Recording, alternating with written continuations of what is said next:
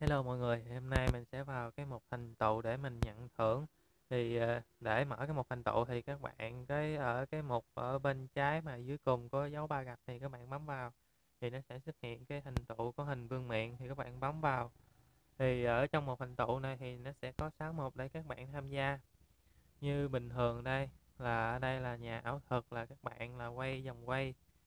Nhà ảo thuật là quay vòng quay là 800 lần thì các bạn sẽ được nhận thưởng và bên đây là tiên diệt quát thì các bạn à, nếu các bạn mở ra được cái à, những cái à, ban đầu là cấp, cho tỷ các bạn đặt cấp 10 đi, các bạn trồng được cái hoa hồng đi, thì khi nó quy định là các bạn trồng là bao nhiêu hoa hồng thì các bạn sẽ được nhận thưởng bấy nhiêu.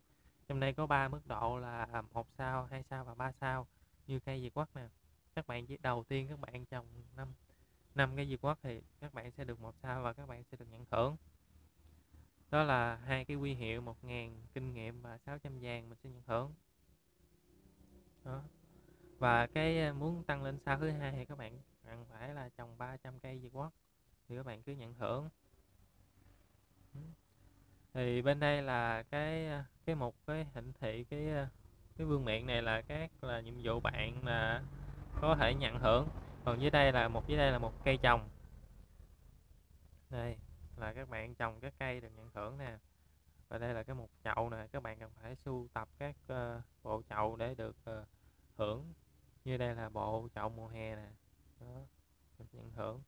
Còn những một số dưới đây là mình chưa có thu thập được chậu như là bộ sinh vật cảnh nè. Các bạn cần phải thu thập là bốn bộ bốn chậu chứ. Dưới đây là cái nói chung là cái một bạn bè thì các bạn qua nhà bạn bè sửa máy, giúp đỡ, hỗ trợ, quét may gì nọ. Thì các bạn có dưới đây là những phần thưởng khác như là các bạn đào mỏ nè, bọ, quay xúc sắc thì khi các bạn nhận các thưởng này thì các bạn sẽ nhận được vàng kim cương này nọ. Ồ, bảy. Nhận được vàng kinh nghiệm và các quy hiệu thôi thì ờ, khi các bạn thu thập đủ các quy hiệu ở trên đây thì các bạn nhấn vào nút quy hiệu thì nếu tích lũy lấy đủ các quy hiệu á, thì bạn sẽ nhận được cái thưởng nè. Như cái một sáu trăm này các bạn được kinh kinh nghiệm nè, kim cương nè, một bảy trăm thì các bạn càng cao hơn thôi. Giờ mình sẽ nhận thưởng hết mấy cái thưởng mà mình làm được thì đối với những bạn cấp nhỏ thì khi các bạn hoàn thành các ờ, thành tựu này thì các bạn cứ vào nhận để ờ, mau lên cấp và có các nguyên liệu để nâng cấp các ờ, kho thành phẩm này nọ. Và có các bộ chậu cũng tương đối tốt. Thì các bạn cứ nhận thưởng đi.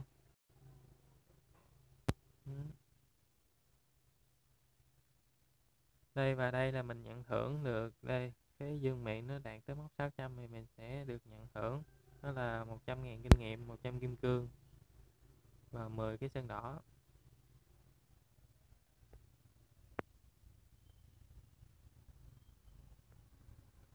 Và trên cái ờ, ở cái một cái vương miện này thì nó sẽ phân ra làm hai, đó là cái nhiệm vụ sắp hoàn thành và cái nhiệm vụ đã hoàn thành. Thì đã hoàn thành là các bạn đã nhận thưởng hết rồi. Đủ 3 sao, còn sắp hoàn thành là các bạn là chưa chưa có năng độ 3 sao. Đây đây là các nhiệm vụ là các bạn chỉ làm được một sao, hai sao thôi, chưa hoàn thành.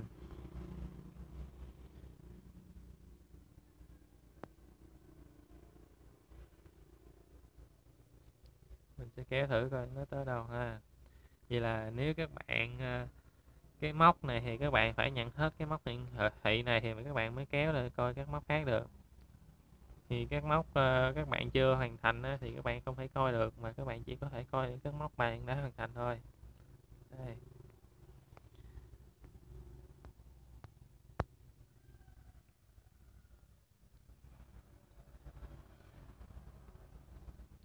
Các nhiệm vụ giải là các nhiệm vụ các bạn chỉ là uh, trồng cây hoặc là sản xuất quét bỏ mây này kia thì các bạn sẽ dễ hàng uh, ờ, hoàn thành hơn.